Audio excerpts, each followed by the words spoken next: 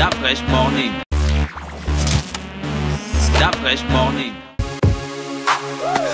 Vous êtes sur les 104.5 Urban FM, la station urbaine, et vous écoutez le Da Fresh Morning dans le studio. On a Angie Bling. Angie Bling, bonjour. Bonjour, bonjour. Comment tu vas? Ça va super bien. Et à la forme? Ça va, ça Tu va. connais Gina, tu connais René Ruth? C'est la famille. René Ruth, tu connais Angie Bling? C'est la famille. Alors, Bling, quoi de neuf Ouais, ça va. Tu es dans une là. grande campagne de communication en ce moment. ouais, ouais, ouais. Je, je, je fais une tournée média par rapport à ma nouvelle sortie, Mhm. Shine. Shine, c'est un nouveau titre, c'est- c'est c'est quoi? C'est un projet ou c'est un solo? C'est un solo, c'est un single extrait d'un Mhm. projet, mais je préfère ne pas encore euh, donner plus de précisions sur le Bah, projet. Donc pourquoi tu es venu dans, le- dans, dans la radio Voilà, je suis venu présenter Shine justement. présent- Alors vas-y, parle-nous de Shine. Shine, en fait, c'est un titre. euh, c'est Shine, c'est briller quoi. Oui, briller. En fait, j'essaie de dire aux gens que quand tu fais tes trucs, quand Mhm. ça marche pour toi, n'hésite jamais de, de le montrer aux gens, prouver que c'est possible, prouver que quand tu travailles, quand tu mets du tien, c'est, ça marche toujours en fait. Est-ce que Et- tu crois que les gens pensent, euh, euh, captent ce, ce- ce discours-là Oui. Aujourd'hui, les gens- les jeunes ont l'impression que tout est facile. On a vu un Bling briller, donc on peut être comme un Bling. Il suffit de rentrer en studio et puis de faire un son. Ah, ça, c'est pour ceux qui, qui, qui n'ont pas. Comment je vais dire Pour ceux qui n'ont pas la tête sur les épaules, pour quelqu'un qui est conscient et qui pense, ne peut pas réagir comme ça. Il sait que c'est compliqué. Sinon, tout le monde allait aller au studio et puis. Et puis ça coule seulement quoi. Ouais, mais parce que vous, quand vous passez à la radio vous- ou à la télé, vous dites oui, dans la vie, pour réussir, il faut faire beaucoup d'efforts, il faut travailler. Mais vous ne dites pas concrètement, vous, comment vous faites pour que les gars s'en inspirent, en fait. Bon, il moi- faut beaucoup de discipline, oui, c'est bon, mais bon, la discipline, là, on fait comment? Moi, je ne sais pas, peut-être, je connais pas ce que c'est la discipline, mais j'ai envie d'être comme un Ghibli. Il faut prendre des exemples concrets. Tu passes combien de temps au studio? Comment tu t'organises dans ta life? Comment tu fais en sorte que d'être toujours au top? Quelle est l'attitude que tu adoptes face aux, aux difficultés que tu rencontres dans la société? Déjà, je regarde beaucoup. Mhm. Voilà, je m'inspire des autres. Du, moi, j'ai des références. Je suis les pages de Booba, Fali Poupa, euh, beaucoup de stars américaines. Je regarde quand ils Tu regardes quoi exactement? Je regarde leurs vidéos, Mhm. leur façon de poster des, des trucs, leur façon de réagir Mhm. sur les commentaires, leur façon de, de, de, de répondre, de, de leurs projets, comment ils font.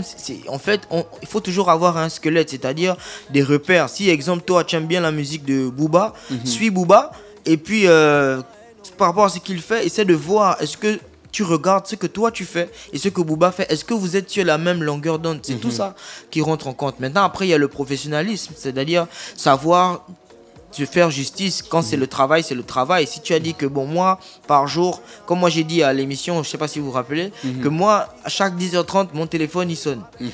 Que Joe va au studio. Oui. Voilà, c'est devenu un réflexe. Même si je pose pas, même si je fais rien du tout, je suis chaque 10h30 quand je n'ai pas de programme comme Oui. euh, radio. Comme aujourd'hui, oui. Voilà, je suis au studio. Donc c'est c'est- c'est des rigueurs. Maintenant, après, tu dois te dire, bon, moi je suis un artiste. Il faut que je me fasse rare pour pouvoir plaire toujours aux gens, pour toujours, pour toujours donner envie aux gens de faire des photos avec moi. Pour ça, il faut que je me cache. Ah, donc tu ne te caches pas par orgueil. Non, non, non. une. Non, non, non, c'est une stratégie.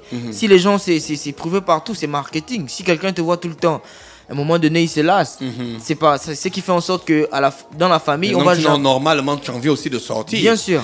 Moi aussi, j'ai envie d'être comme tout le monde. J'ai Ouais. l'habitude de dire à, à mes frères que si de temps en temps je pouvais voler vos visages et puis je sors, Mm. ça devait être bien. Moi aussi, j'ai envie de me balader n'importe comment, boire ce que je veux, Mm. danser n'importe comment sur la piste, sans penser à quelqu'un qui filme pour mettre sur Facebook. Mais Ouais. je peux pas. Je peux pas parce que c'est la rigueur que c'est un style de vie. Voilà. Donc euh, c'est c'est tout ça, c'est tous ces sacrifices là. Faut savoir déjà ce qu'on veut, savoir ce qu'on est prêt à faire pour obtenir ce qu'on veut, et puis se mettre dans les conditions. Et ça, c'est pas seulement dans la musique, peu importe ce que tu veux faire. Tu peux pas dire que tu veux être un footballeur international et tu passes ton temps à, à être à gauche, à droite dans les bars et tout ça. C'est un exemple. J'ai Mhm, pas dit tu que ne le- vises quelqu'un, tu ne vises personne. Voilà. Donc, euh, c'est des exemples. Moi, perso, je suis tout le temps en studio, tout le temps je regarde les autres, j'admire, je, je- des interviews, je m'en vais, je m'en vais voir comment il répond aux questions, Ouais. comment il fait pour contourner les questions. C'est tout ça qui rentre en compte quand tu veux aller loin. Il faut beaucoup observer, c'est très Oui, important. tu voulais poser une question? C'est sorti tellement je suis concentrée dans ce qu'il dit. Ça. Alors, donc Shine, c'est un projet que tu as travaillé avec qui dessus? Euh, j'ai travaillé avec Moses, qui est un Mhm. beatmaker qui avait déjà fait Il est Massama. beatmaker gabonais. Ouais, qui avait déjà fait Massama. Euh, et puis Saiko a ajouté la guitare. Et Mos- euh, O- Owox a fait le mix et le master. D'accord, on écoute un peu le morceau. On va, on va retirer quelques paroles et puis on va se retrouver derrière.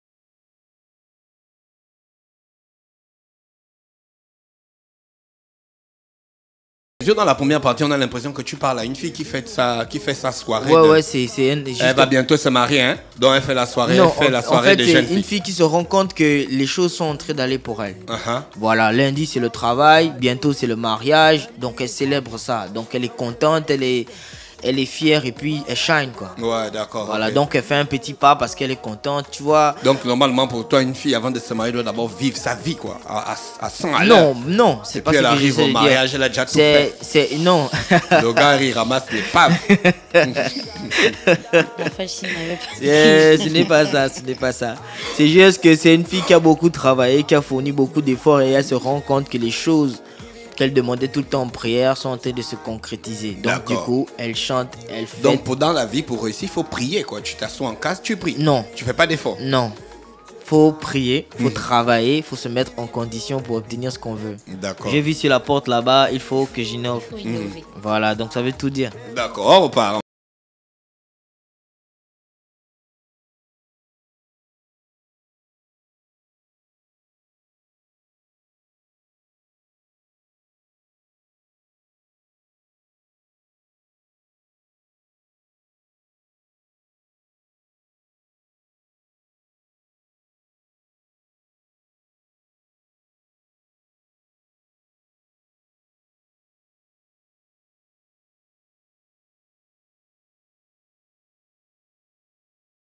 Il faut laisser celle qui critique. Tu penses que c'est facile de passer à côté des critiques? Toi-même, ça ne t'a pas bougé, bougé un moment de ta life? Si, toujours.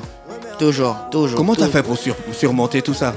Ah, ben, tu essaies de. C'est vrai que c'est compliqué, mais tu essaies au maximum de ne pas prêter attention. Mhm. Voilà, tu essaies de. On va toujours critiquer, que ça soit bien, que ça soit mal, on va Quand tu es toujours. parti d'Africa Dream, on t'a critiqué? Toujours. Quand je suis parti de traumatisme, on a critiqué toujours. Mhm. Voilà, c'est, ça fait partie de, de la vie. Si déjà tu n'acceptes pas la critique, si déjà tu as peur de la critique, c'est qu'en fait toi tu veux pas aller loin. Parce que Mhm. il n'y a pas que des critiques euh, négatives, il y a des critiques objectives aussi. Donc faut apprendre à embrasser les critiques. Tu es déjà tombé sur une critique objective où tu t'es reconnu, tu t'es dit, oui, là, les gars ont vraiment raison, je suis comme ça. Bon, oui, normalement. Hier, hier, il y, a un- il y a un mec qui m'a dit Bon, moi, euh, j'aime bien ce que tu fais, mais souvent, j'ai comme l'impression que sur la scène, euh, tu, tu, tu- ton, ton son est plus fort. C'est-à-dire que toi, tu, tu viens sur la scène, tu es déjà confiant. En temps, nous, on a envie de voir comment tu te donnes à fond, à- à- avec la même pression. Que, que, que ta chanson en fait et que souvent il t'arrive de venir tu es un peu calme c'est comme si en fait pour toi tu te dis que c'est déjà lâché le, tout le monde connaît la chanson donc plus besoin de forcer ça c'est une critique objective parce que souvent nous quand nous on est on, travaille on répète la- le sujet revient à chaque fois que essaie de faire ça essaie de faire ça. Voici une critique objective. Mais quand quelqu'un me dit ouais euh, moi j'aime pas ce que tu fais d'abord je sais même pas pourquoi j'ai liké ta page etc c'est la fatigue. Ça c'est bon. Ça, les trucs comme ça je regarde je passe seulement je rigole. Mais comment tu fais pour pallier à ce, ce- ce problème que les gens euh, te font des reproches sur, la, sur ta prestance scénique? Comment tu fais? Parce Ben- que depuis que les gars te parlent de ça, on a l'impression que bon, tu ne fais pas d'efforts. On non, dit que tu pas t'en que, fous. Non, pas que je m'en fous, pas que je fais pas d'efforts. Après, je veux pas changer. euh, on ne change pas un claquement de doigts, sinon Mhm. la vie elle devait être super belle. C'est des trucs qui viennent avec le temps. Après, faut, faut pas oublier que quand tu es sur la scène, tu dois, un, te concentrer, donner de l'attention au public. Il y a beaucoup de, de, de- de facteurs qui rentrent en compte quand tu es sur une scène. Donc, Mhm. il y a des trucs qui peuvent facilement t'échapper. Et laisse-moi te dire que même Nicki Minaj, nous, on voit du 100% sur sa prestance scénique. Mhm. Mais quand elle rentre en coulisses, il y a toujours quelqu'un qui dit Ouais, c'était super. Mais la partie là, chose, voilà, chose, voilà, voilà. Quand Donc, toi tu es sur la scène, est-ce que tu vois les gens? Oui, ça m'arrive. Voilà, ça te déconcentre pas Souvent, Il t'arrive de te déconcentrer sur scène. Ouais, souvent. Souvent, quand Qu'est-ce je. qui peut attirer ton attention quand tu es sur scène avec le micro C'est quand je constate qu'il y a un proche. Parce que souvent, il m'arrive d'être sur la scène. Après, je rappe, je rappe pendant que je viens sur le public pour essayer de choisir un côté et tout ça. Je me rends compte que la personne euh, qui est en face de moi, c'est ma soeur. Ou bien c'est une tante, ou bien c'est une cousine. Et elle me fait le geste. Donc, le Mais c'est toi-même qui chanté, fais le au mo- geste. Au moment, au moment où le cerveau te dit, mais oh, ça c'est pas tel. Ça te, dis- ça, c'est- ça te déconcentre en fait. Mais comment toi tu peux t'occuper de ça alors que tu es en pleine Mais tu prestation? n'as- tu Donc tu n'es pas un gars souvent concentré dans Non, ce que c'est tu pas, fais. c'est pas que tu n'es pas concentré. C'est comme si là tu es, tu es en émission, exemple, et puis euh, l'ado le rentre comme ça, Mhm. seul comme ça, elle rentre, boum. Je suis en train de parler pendant qu'elle rentre. Tu vois, il y a un ton, ton- cerveau te dit oh mais Dodo tu fais quoi là? Ouais. C'est le premier réflexe en fait. Mhm. Et puis à un moment donné, deux secondes ça te déconcentre et après tu, Tu avances. voilà tu avances. Il t'arrive de penser en scène- sur scène que tu penses, tu es dans les pensées. Ouais ça déjà, ouais. Tu es, C'est-à-dire tu es un artiste étrange. Oh, non, c'est-à-dire que moi, moi, je cherche toujours à aller deux fois plus loin, à essayer de faire un truc. Voilà pourquoi, je sais pas si les gens se rappellent. Une fois, j'avais enlevé le t-shirt pendant la fête de- du 17 août. Mhm. Bon, après, le boss là-bas, le grand Alain m'avait un peu tiré les oreilles, je m'en excuse encore. Mais en fait, c'est parce que j'avais remarqué que tout le monde avait fait des belles scènes. Si moi je venais faire une belle scène, ça devait être comme la scène de tout le monde. Tu voulais apporter un je- plus. Voilà, je voulais faire quelque chose de. Voilà, qui va faire en sorte que les gens puissent dire que. Oh, mais le gars là, il est venu, qu'est-ce qu'il a pris là? Ça fait parler. Donc j'ai enlevé le t-shirt, je suis monté comme ça. Donc moi, ça m'arrive quand je suis sur la scène, je réfléchis, je me dis, bon, ok, là, je suis, le premier couplet, je commence ici. Pendant que je suis en train de rapper le premier couplet, je suis déjà en train de calculer comment je vais faire pour aller là-bas, faire ça, faire ça, revenir ici, et puis partir, et puis terminer comme ça, c'est comme ça. C'est un travail difficile. Ouais, c'est c'est Tu compliqué. t'exerces? Bien sûr. Je répète ça moi-même avant la scène, deux minutes, cinq minutes avant. J'ai dit bon ok je vais faire comme ça, comme ça, comme ça, comme ça. Il faut que, en fait c'est c'est l'habitude. Il faut que le, le cerveau puisse être capable en même temps de chanter les textes, ne pas oublier le texte et réfléchir déjà à la suite, ce que tu vas faire pour anticiper. 4000 euh, écoutes, hein, 4056 écoutes Mhm. euh, depuis en 3 jours. Uh-huh. Est-ce que tu on peut dire que NG Bling shine selon sa chanson? Euh, bon après. Pour le Gabon, c'est un record quoi. C'est pas Ouais. la vidéo, c'est juste l'audio. Ouais mais quand bon, c'est pas que je Mais suis. tu as toujours voulu shiner. Toi-même, tu avais Toujours. annoncé ça dans une émission Toujours. à Télé Afrique à l'époque. Un jour, tu vas shiner. Toujours. Est-ce que tu es impressionné par ton shining ou bien c'était préparé? Bon, bon, moi, je suis pas encore satisfait parce que je me dis que je, je peux faire mieux et qu'il faut pas que je m'arrête dessus. J'ai- Je suis encore jeune. Voilà, déjà, une fois, je, je parlais avec un grand frère avec qui je, qui je fatigue beaucoup, Mhm. Baponga. Quand j'ai des perturb- j'ai des perturbations, je pose les questions toujours, comme à l'école. Et je lui ai demandé, euh, je posais un peu des, des petits problèmes que j'avais et tout ça. Et il m'a dit que, petit, moi, à 26 ans, je n'avais pas donne seulement, je n'avais pas de canal d'or, je n'avais pas la notoriété que tu as à 26 ans. Donc déjà, sois fier. Si déjà à 26 ans tu as ça, ça veut dire que quand tu auras mon âge, tu pourras faire beaucoup, beaucoup de grandes choses. Donc euh, ça veut dire que moi, aujourd'hui, je shine, mais j'essaie de enlever ça de ma tête parce que je me dis qu'il faut que j'aille encore euh, plus loin. Est-ce que tu penses que tu n'as, il te manque quelque chose pour aller un peu plus loin? Ouais, le temps, Le temps. juste le temps. Le temps de quoi D'aller en studio, de Non, rencontrer non, des le personnes temps, c'est-à-dire que laisser faire le temps. Parce que. Donc tu comptes sur le temps. Tu es assis en case. Non, Bon, le temps. Ah, le grand, Le bien, temps ah, est- le grand bien l'expression là, assis en case. le temps est passé. oh. tu connais la chanson là Le temps est. Non, non. c'était pas ton temps, Façon de dire que, en fait, déjà, tu peux tout faire. Man, beaucoup de gars comme toi sont assis en case et ils croient que le temps va faire des choses. Ça, ça, c'est eux, hein. Et tu sais que je, ce que je te dis, c'est vrai. Ouais, c'est Voilà, parce que je suis comme toi, j'observe les gens. c'est c'est réel.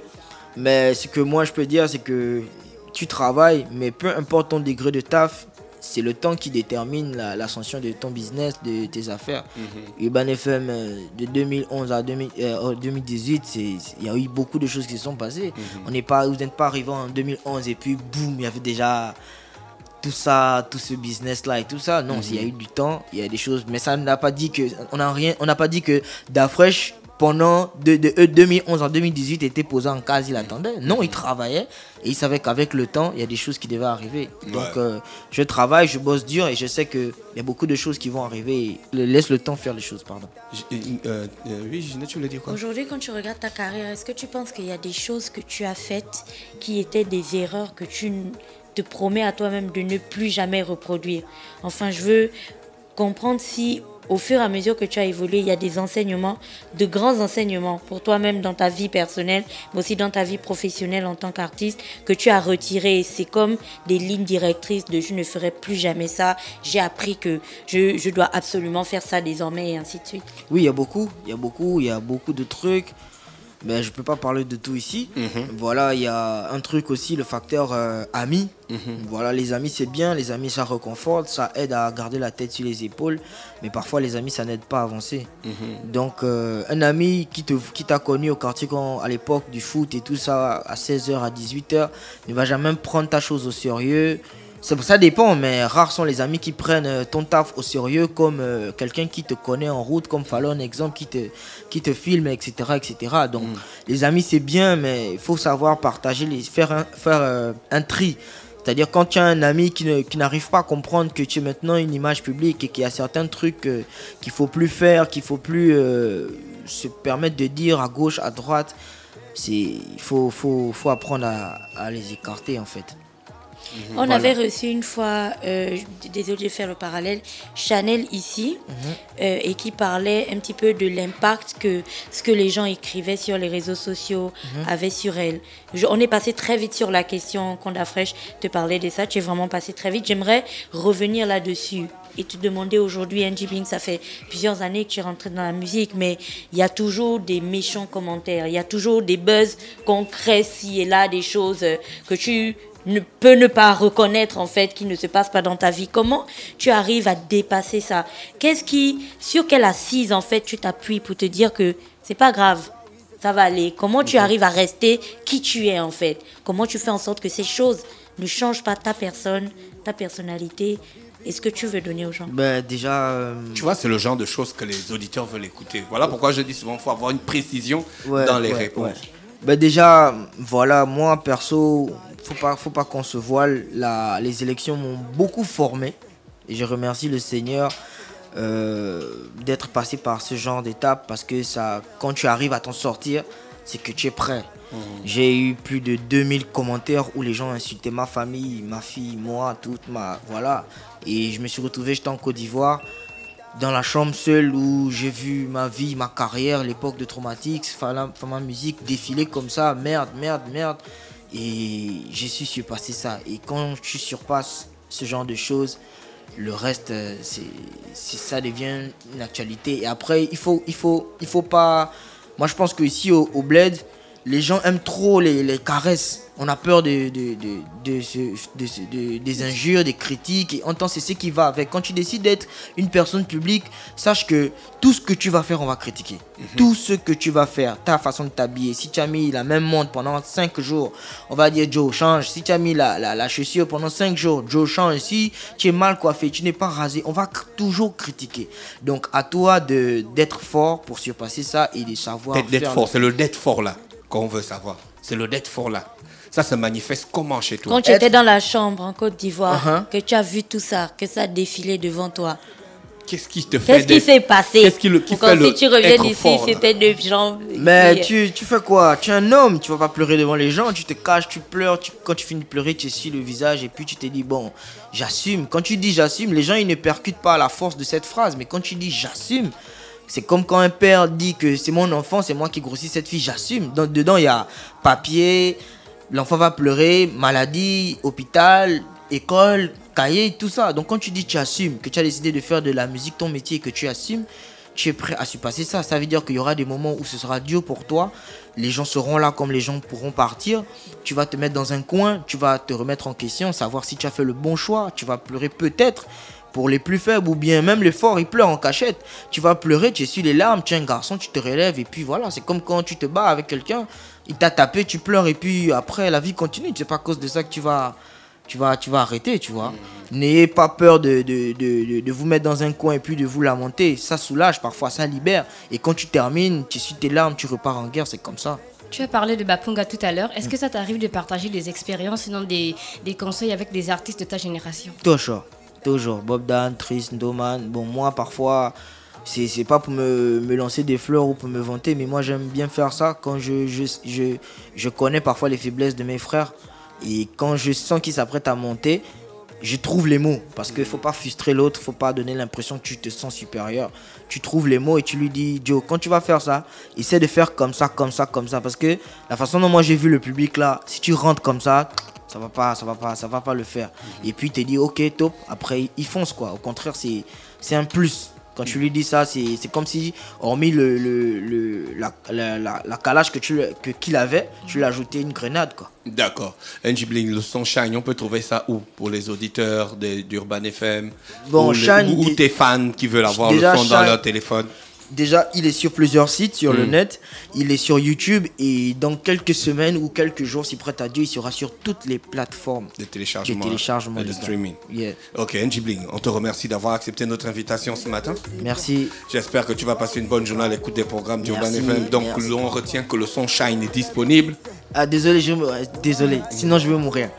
Dédicace à DJ Harper parce que depuis avant hier, il me fatigue avec DJ Harper. Big up à toi, pardon. Ah, d'accord, il savait que tu devais être là. et Ouais, il savait que bon, voilà. euh, NG Bling, euh, direct, quoi, il doit me faire le big up. Voilà. Merci encore à Urban FM, merci pour la force, merci pour l'encouragement et merci à toutes les personnes qui encouragent la musique de NG Bling, le choc. Merci NG Bling avec nous ce matin sur les 104.5 Urban FM. René Ruth aussi est avec nous dans le studio. René Ruth, bonjour. Urban FM 104.5, la station urbaine.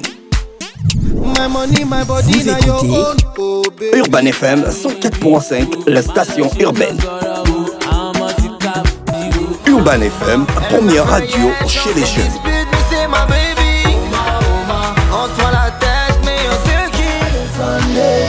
Urban FM, la radio des musiques urbaines. Urban FM 104.5, la station urbaine. Stop Fresh Morning.